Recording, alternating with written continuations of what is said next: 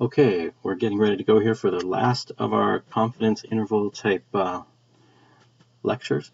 Um, with this one, we're going to be talking about a particular application of confidence intervals, which is how to do hypothesis testing with confidence intervals. And as I mentioned in class, to some people who were there, it works just as well in most cases as using traditional hypothesis testing. Sadly, you're still going to have to do traditional hypothesis testing and learn how to do that also because that's what the whole world uses, even though in many cases this is just as easy. So what we know so far is that we calculate a confidence interval from a sample, and that little histogram there is to show you this is a sample, not a population. Um, and that confidence interval tells us our best guess about where mu might be. Mu is the true population mean, the, pop, the mean of the population this sample came from. So it, it's also our estimated precision of measurement of our sample mean. So we've got our sample mean right there, and we calculate a confidence interval. So the ends of the arrows are the confidence interval in this little diagram that I'm using right here. So that's what we know so far. More, more specifically, if we want to talk about the meaning of the confidence interval, we can think about what are all the values inside the confidence interval between the lower and upper limits and those outside? Values inside the confidence interval, well, they're plausible.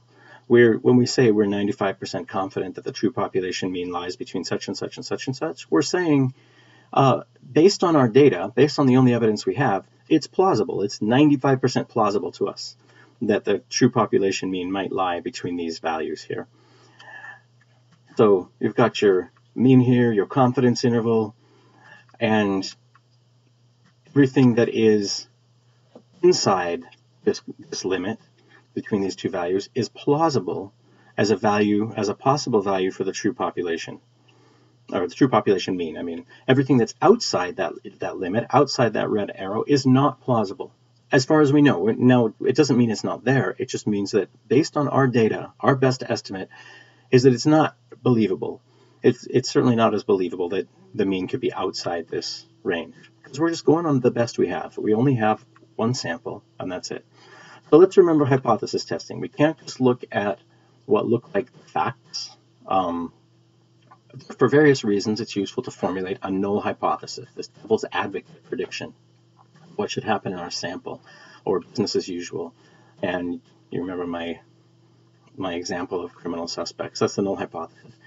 So the null hypothesis and traditional null hypothesis testing approaches things with this kind of conditional probability. How plausible is the data we've, we've observed, or more extreme, if we assume that the null hypothesis is telling us what's really going on in the population. So if we knew, if we assume that the null hypothesis is true. So a p-value, when we calculate that, is the probability of our data, or data more extreme, if the null hypothesis is true, or given HO. So that's a p-value, probability of data given the null. And we're going to reverse that for confidence intervals. With a confidence interval, we can evaluate the plausibility of various hypothesized population means. So if somebody says maybe the population mean is this, we can say, hmm, I don't know. How believable is it? And the way we do that is we just look and see whether it's inside the confidence interval or not. So how plausible, we're asking ourselves the question, how plausible is the null hypothesis if we assume our sample represents the true state of the population. So we reverse that conditional probability. And in fact, this is a lot closer to what we want to know when we do research. How likely is it that a certain hypothesis is true given what we know from our data? So that's what we're going to do. We're going to say how believable. We're not going to calculate probabilities here. We could get specific, but we're not going to. We don't need to, actually. All we need to know is that if we have some value that's right inside confidence interval that's between the lower and the upper limits of the confidence interval, that value is believable as a true population mean estimate because everything in the confidence interval is believable that it might be the true confidence in, or the true population mean, right? If we have a value outside, then that's not believable. A value outside is not plausible as the true population mean based on what we have from our data, based on our only evidence, our only estimates so far. So we can evaluate the plausibility of the null hypothesis without actually calculating any probabilities. We just it's just a yes no thing. Is it inside the confidence interval or not? We don't actually have to calculate any p-values, but as you'll see, we know whether p is greater or less than alpha, as long as we set things up a very specific way. So sample mean and the confidence interval. And then we specify a null hypothesis that we think is, you know, the way we always specify null hypotheses, this devil's advocate or business as usual type prediction. That null hypothesis is usually a statement of fact or a statement of potential fact, but it implies, and, it, and actually it doesn't work otherwise for these kinds of situations. For it to work with these situations, that hypothesis has to imply a, a value for the true population mean. Now, whenever I say mu and there's nothing attached to it, it means the true population mean. Um, but value implied by the null hypothesis is mu zero mu sub zero. It's the null hypothesis expected value for the for the population mean. It's what the null hypothesis says the population should be, the population mean should be. Now the null hypothesis is actually actually specifies a whole range of possibilities, but it has a mean. So we just look and see, is this mean inside our confidence interval or not? So our confidence interval is based on our data. The null hypothesis is not. We specify that before we collect any data in theory. Not always, but that is a good way to do it. So the logic that we're going to use for now, before we get to more formal hypothesis testing, is how plausible is this null hypothesis value, this mu zero, in light of our data? So if mu sub zero, if the null hypothesis implied mean is inside the confidence interval, then it's in the range of plausible values for the true population mean. So the true population mean might be the null hypothesis mean, right? So we should not reject the null hypothesis. We've got our sample, we've got our confidence interval, we do the little sampling distribution of the mean thing to calculate our confidence interval. Uh, now we have our confidence interval. And if mu sub zero falls inside that, that confidence interval, then we do not reject the null hypothesis because the main parameter that we're interested in in this case, the mean of the null hypothesis, the mean that the null hypothesis says the true population should have, is believable as the true population mean for us. However, if mu sub 0 is not inside the confidence interval, then the null hypothesis is not a plausible possibility for the true mean, and we should reject the null hypothesis.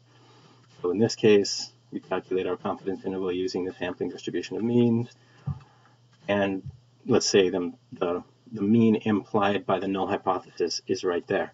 That's not a plausible value for the true mean from the population. So we say this sample did not come from a population that has that mean. Now we don't know for sure, of course, because it's just a sample. There's all these probabilities, not certainties involved, but we say it's not plausible. Given our data, we reject this null hypothesis. We don't think that's where our sample came from. I'm just drinking your milk. Oh, goodness. Can you go clean it up, please? Use a towel. Dexter is not my nice cat. He's the cat who eats everything. So according to uh, somebody. I have a link there, but it's annoying. I don't even want to tell you. Action adventure TV shows have a mean of 27.6 violent acts per hour. This date, this date is a little bit old, with a standard deviation of 16.5.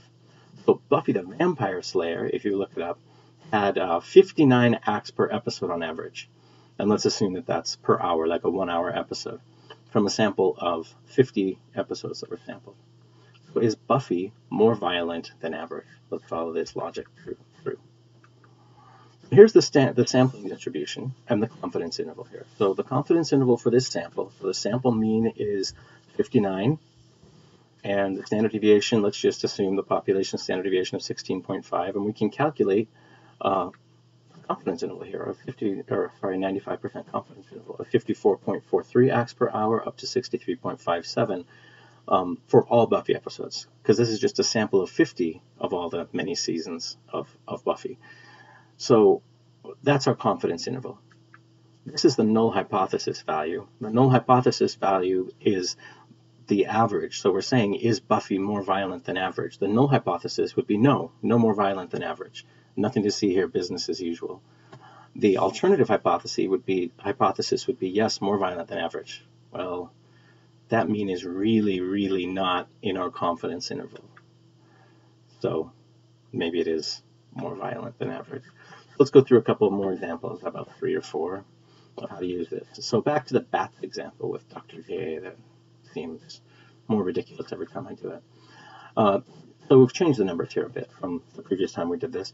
He records a frequency of 152, so a sample of 152 bat calls in New Mexico, and he gets a mean of 38.2 kilohertz. Um, the mean of bats in Arizona is 39.1 kilohertz with standard deviation of 8.6. He has reason to believe the variability of bat calls is the same in both states, so he uses 8.6 kilohertz as the standard deviation for his New his the population standard deviation for his New Mexico sample. So do the do the confidence interval here and see if the null hypothesis mean falls inside that and see if you can follow the logic to decide whether you should reject the confidence or reject the null hypothesis or not. Specify both the null and the alternative, and then see if uh, you can come up with a conclusion for that. All right, let's walk through this.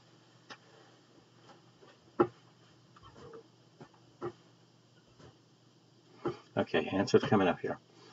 Um, one thing to note oops, is that when we say a 95% confidence interval, that's the same thing as saying a non-directional or two-tailed test with alpha of 0.05.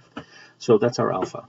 If alpha is 0.05, then we want a two-tailed test with um, a confidence level of 95, so uh, 0.95. So a 95% confidence interval is what we're going to test this with. So we should formulate our null and alternative hypotheses. The null hypothesis would be something like New Mexico bats have the same frequency calls on average as Arizona, and the alternative would be that they're different. Now in symbols, Arizona mean um, should be the same oh sorry, I should say New Mexico there. New Mexico mean should be the same as the Arizona. I'm sorry, this right here should say, just fix that right away. Maybe I'll edit this out, maybe I won't. Let's go back here. So in symbols, then it's all about the mean, the true population mean of New Mexico calls. And 39 is the Arizona value. So we're saying the null hypothesis is that New Mexico bat calls come from a population that has the same mean as the Arizona mean, right? So it's this, they're the same kind of bats and they're using the same kind of calls. The alternative hypothesis is they're not the same. Now, when, we, when we're using confidence intervals to test hypotheses, a confidence interval is naturally two-tailed, and so it's naturally easier to specify a two-tailed or non-directional hypothesis to test. So when we're going to use this method, we'll force even, even one-tailed or directional hypotheses into sort of a two-tailed mold. Later, we'll be more specific about that and more careful about one versus two-tailed, but for right now, we can just force it all into a two-tailed mold so that it fits the confidence interval situation. There are ways to kind of hack this just a teeny bit to make a one-tailed test work and get your alpha values right and everything, but I don't want to go through that right now. Let's just force everything to be two-tailed. Here are the results. The confidence interval, the 95% confidence interval for the mean of the New Mexico bats is 36.8 to 39.6. And the Arizona mean is right there, 39.1. That's very much in the confidence interval, so we do not reject the null hypothesis. So we retain the null hypothesis. New Mexico bats do not appear to use different frequencies from Arizona bats. That's fun. So some interesting notes. We didn't actually calculate a p-value, but we can say p is greater than 0.05 because we don't have to calculate the p-value to know, and I could go through this logic with you later, but I'm just going to say take my word for it right now. We don't have to calculate the p-value to know that p would be greater than 0.05 if the null hypothesis value is outside a 95% confidence interval. It has to work out that way. As long as you specify a two-tailed uh, alpha equals 0.05, 0.95 confidence interval type situation.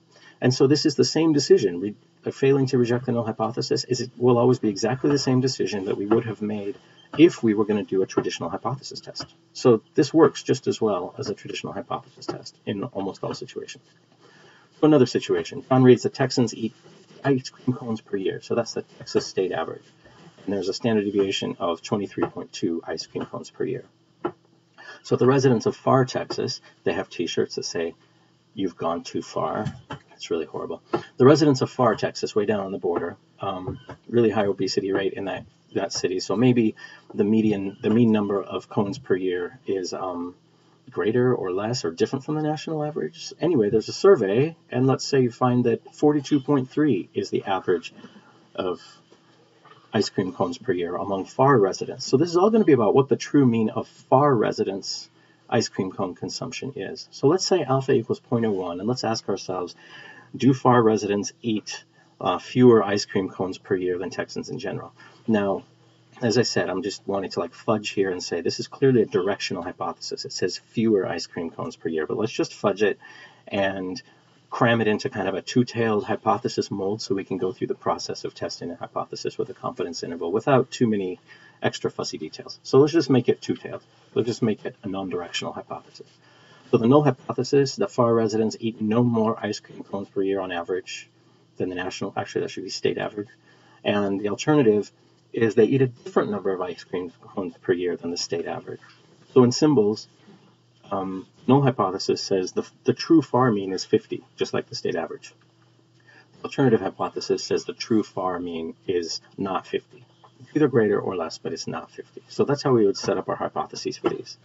And I'm going to go ahead and show you the confidence interval, and so I hope you've worked this out for yourself at this point so you can learn and test yourself.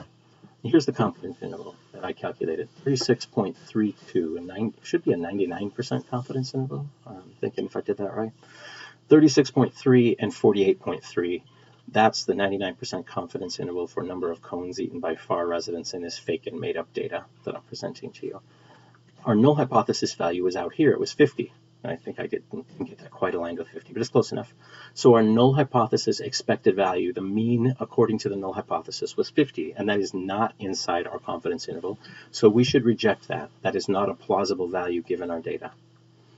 So we would probably report our mean. We would say the mean is 42.3, 99% confidence interval is this, 36.3, 48.3. And then we would give our hypothesis test decision. We reject the null hypothesis and we can put p is less than 0.01 because we know p has to be less than 0.01 the way it worked out.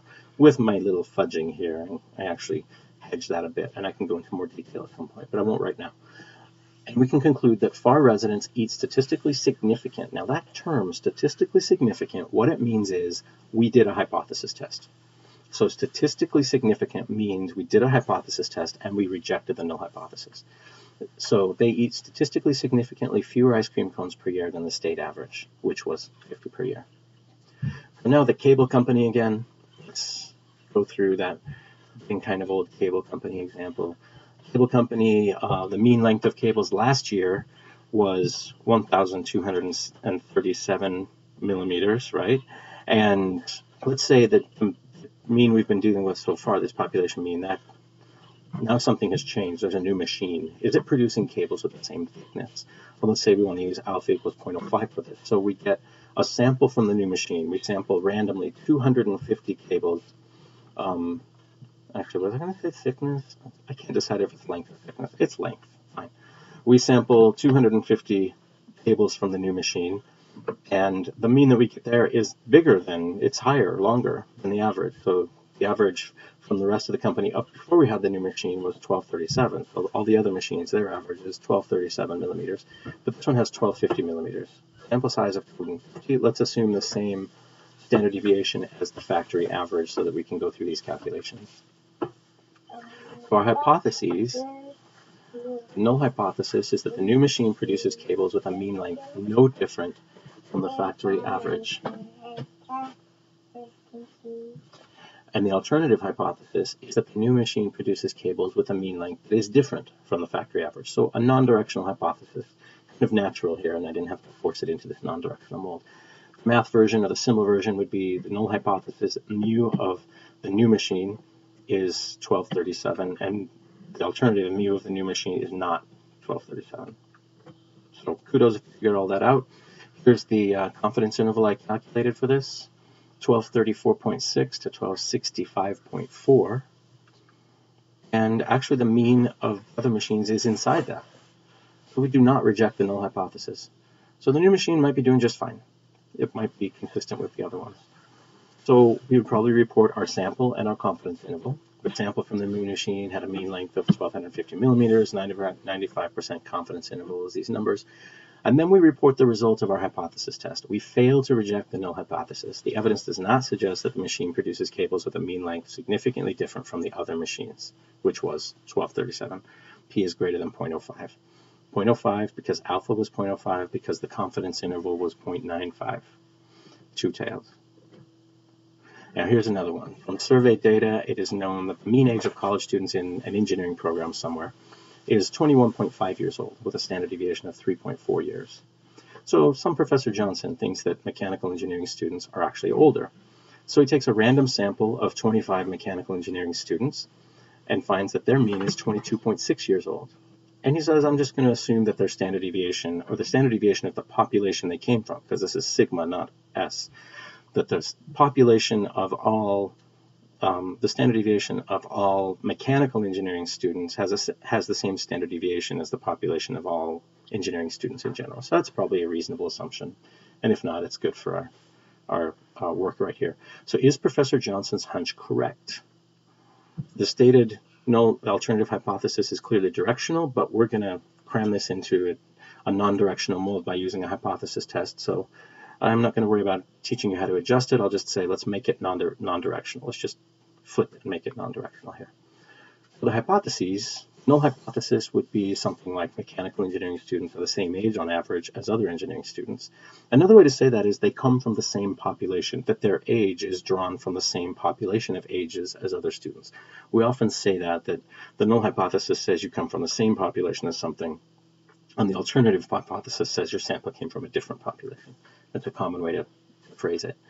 The alternative hypothesis says mechanical engineering students are older on average than other engineering students. In other words, to follow my little reasoning before, you come from a population with um, a, a higher age. So the math version, I'm just going to do a not equals, and this is where I'm forcing uh, I'm forcing a non-directional frame onto what is clearly a directional hypothesis as stated by Professor Johnson. But I'm just going to say the null hypothesis is that the mechanical engineering students' true population mean is 21.5. The alternative is that the mechanical engineering's true population uh, mean is not 21.5. Now I'm going to show the, the uh, data here from the confidence interval. So my confidence interval, I calculated 21.3 and 23.9. And the null hypothesis value was 21.5 because that's the mean of the other mechanical or the other engineering students, all engineering students together. So you can see uh, the mechanical engineering students are older on average, but uh, at least in sample wise, they seem older, but we're not confident that it's happening in the population because it's still possible we could get a sample like this. One of our, it's still plausible that even if this was the population mean that the sample would happen. So we can't reject the null hypothesis here. The null hypothesis is still one of our plausible values for where the mean of all possible, or yeah, the mean of all mechanical engineering students' ages might have come from. This is still plausible, so we do not reject the null hypothesis. So here's a nice conclusion we could write. We put in the part about failing to reject the null hypothesis. We put the p-value. We don't know the specific value, but we do know that it's greater than 0.05, and we did not reject the null hypothesis. Um, there we go. So I'm done with, with this module for now, and we'll get a little bit more content in class. And of course, feel free to read the textbook, as occasionally students have been known to do in the history of college. And we'll have a really fun exam on this pretty soon. Good luck.